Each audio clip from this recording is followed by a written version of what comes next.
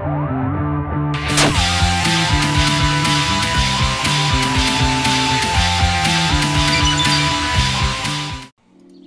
friends. C Note here, and uh, I am C Note. My name is Christian Rivera. I am an INTP, and a lot of these videos and episodes are about helping INTPs realize some of their superpowers, their strengths, and to not fall victim to stereotypes of INTPs just being nerds or robots or people that can't be assertive and all of that stuff.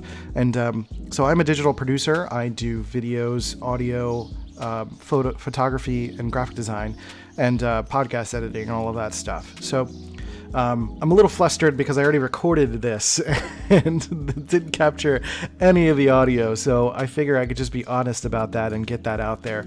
Uh, today, I wanted to talk about the real superpower of INTPs, and that is that INTPs are more calibrators than correctors.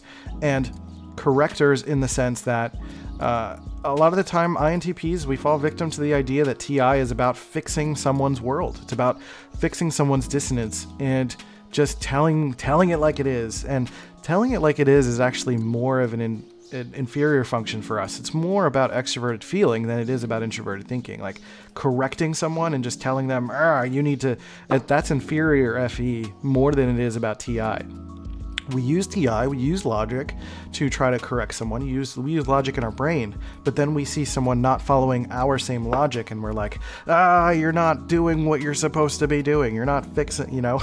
so, um, you know, that's, that's, uh, that's why we get upset about that. But really, our strength is about calibrating and calibrating someone on the scale of optimism and pessimism.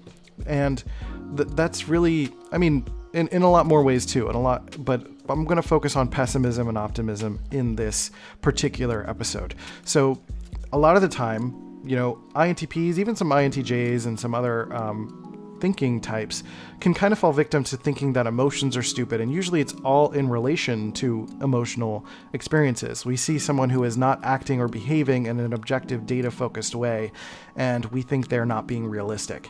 And by not being realistic, they are not being uh, uh, they're not being logically sound. And that is what is ultimately frustrating us right? And and i don't think that is really a healthy perspective. It's it's a healthy perspective for us to notice that but it's not a healthy perspective for us to force our logic onto someone and try to fix it in a way that we would be okay with. And that means just telling them like it is and telling it straight. And one thing to notice and one thing to recognize is that we can't make a brain be ready for something. We can't tell a brain what to do. We just, uh, the brain is not going to be ready to grow in a way that it's not currently ready to grow right? So, for example, if we start to try to tell an ENFP that they need to not be considering this emotional experience, or like, there's the solution right there, you just need to fix this and you'll be fine, but they need to go through their process because they lead with a process called extroverted intuition, and they need to explore. They need to try on different ideas, different paths, different solutions, because part of that exploration for them is how they learn all sorts of different things that they can apply to other parts of their life, right? So by telling them the direct route, or if they went the direct route, they would be robbing themselves of all, of all sorts of understanding, of all sorts of things that they need to ascertain to really solidify this picture for them, the changes for them, and make a meaningful long term type of change, right? It's not our job to correct someone. That's called codependence and we shouldn't be doing that, right? So what you can actually do is lend someone your TI by asking questions, something I talked about in another video, to help someone calibrate in a more quote unquote realistic way. Now, I'm going to address that idea of realism real quick because a lot of the time, and it's important for you to assess this in yourself, whether or not you mean realism as actually pessimism. Now, sometimes we disguise realism as cynicism or pessimism, and that is not a healthy perspective.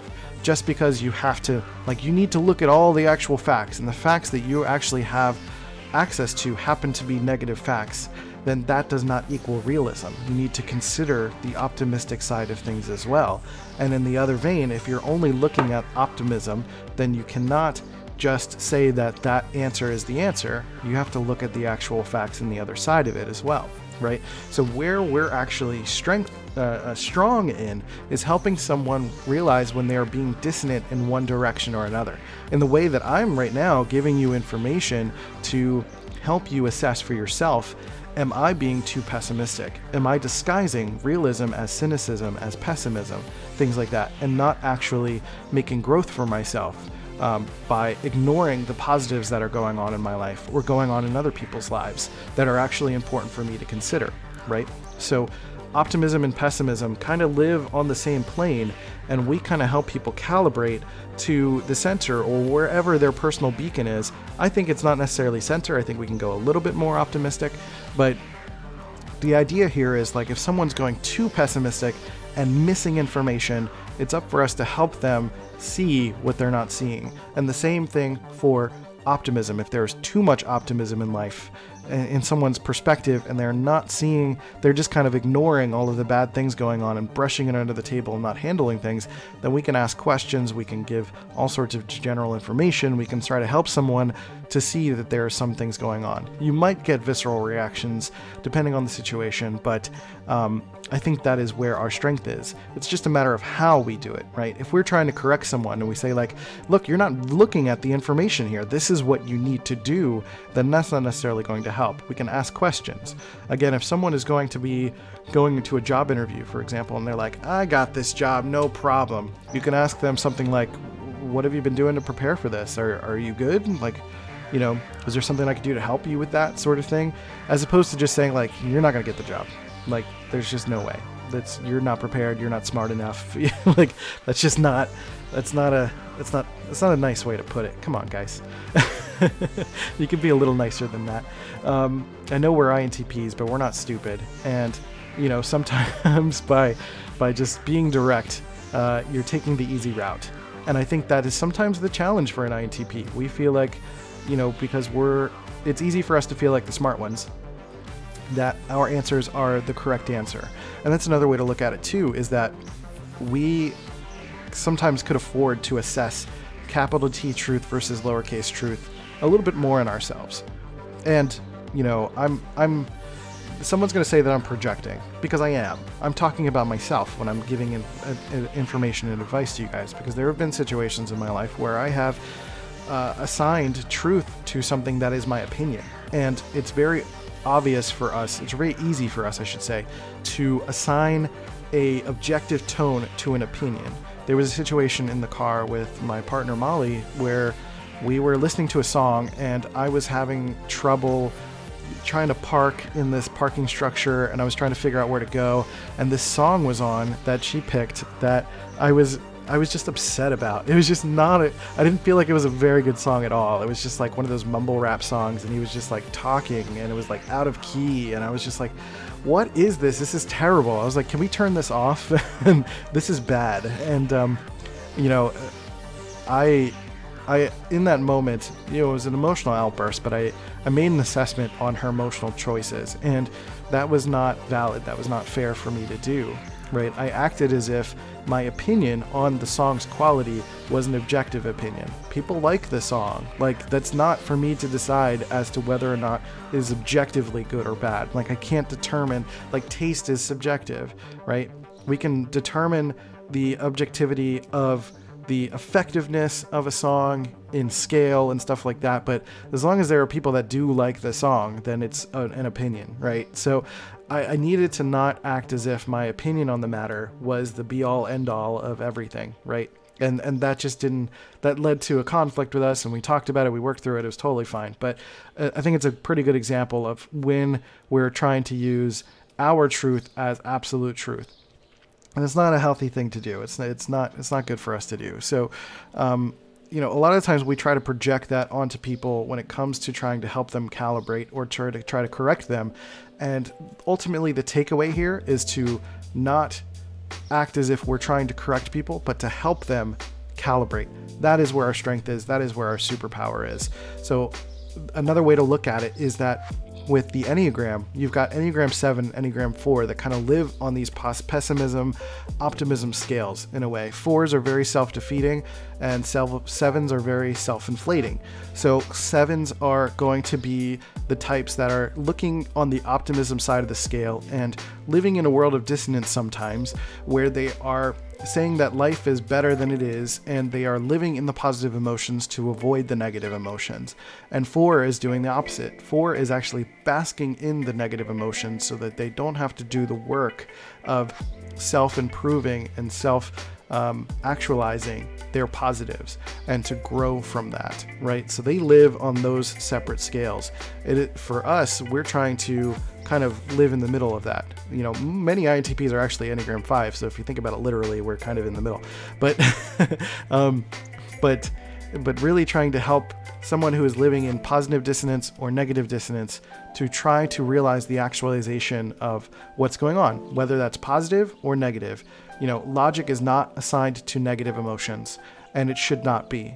If you're assigning pessimism to data, to information, then there's something else to be assessed there. And I think we need to take a little bit more time to look within ourselves to realize when we are applying our personal truth as an objective truth to other people and trying to make other people live within our own personal cult. You know, we're trying to make other people be like us when we don't want other people to be like, we don't want other people to make us try to be like them, right? So think about that we are always trying to, or I have in my past, and, and sometimes I do this still, I'm trying to make the world around me conform to who I am. But we hate that the world tries to conform us to what it is, right? So we can't we can't be hypocrites in that way. We can't do that. So at the end of the day, this is all about assessing that our personal superpower is about calibration. And through calibration, we can ask questions, we can give information, we could do all sorts of things that are trying to help someone understand the way that they understand how to grow for themselves. But we can't just tell someone directly, like, this is what you need to do unless they're asking for it. And um, if they're asking for it, then, you know, have a good time, you know. But sometimes you need to be a little bit more delicate. You need to kind of ask first, like, can I give you some objective data? Can I give you my direct uh, feedback on this. I'm going to be blunt with you. Is that cool? You know, something like that. You know, it doesn't mean you can't do that, but it's important to check in first and make sure that that's something you can do for them and help them calibrate. Because again, our superpower, and it's a very noble one, is to help someone to remove dissonance from their lives and to be able to move forward because that's just what we're good at. So that's it. Um, I appreciate you guys. Thanks for being here. Thanks for dealing with this setup because I was doing podcasting and this is just kind of an easy way to do this. Um, so if you're watching on YouTube or any or watching or listening anywhere, I would appreciate uh, like, share, subscribe, all the fun things. Uh, you can follow me at Let's Go C Notes on all the social channels and um, follow my show Dopamine, dopamine.life, D O P E, as in yo, that's dope. And uh, I talk about mental health and uh, mental health support for creative professionals on that show. And if you are an INTP that is looking to consider cosmic calibration, which is a course that I'm working on to help people, uh, to help INTPs realize their potential, realize their power, and not just fall into the robotic, emotionless stereotypes, uh, you can consider that in the link below or below or, or, or above or wherever it is uh, at bit.ly slash cosmic INTP, all lowercase. So I don't think this was as good as the first time that I recorded it, but I'm not doing it again. So uh, please let me know if you have any questions, any thoughts, any considerations, and I would love to continue this topic. Again, hit me up at Let's Go C Note and all the social channels, and I'll catch you guys next time on Dopamine or wherever it is that you're listening to this. All right, see you guys. Fade to black. Slowly. Bye.